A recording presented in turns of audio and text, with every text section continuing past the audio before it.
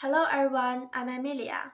Today my presentation topic is about internet dating is not a good way to find a spouse. First of all, I think internet dating is very unreliable.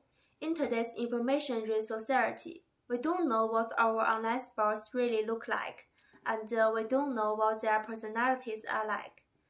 I think one's character is very important and I think the minimum criteria for looking for a spouse is that he should be honest, considerate, responsible, and loving. These are very important for me. But the web is virtual. I don't think we can see a person's true self through the internet. Mm, the second point is I think internet dating will alienate the relationship with their family and friends. They spend more time on mobile phones and computers, thus reducing the communication and uh, companionship with their parents and friends. Last but not least, I think internet dating has a lot of harm.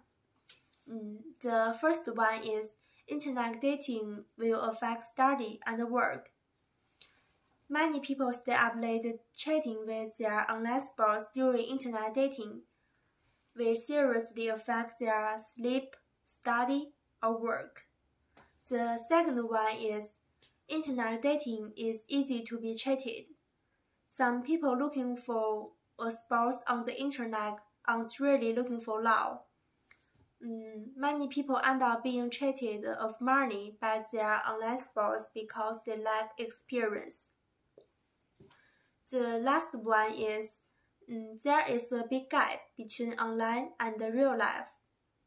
Many people imagine their partner's excellent when they fall in love, but finally they find it is different from what they imagine when they meet.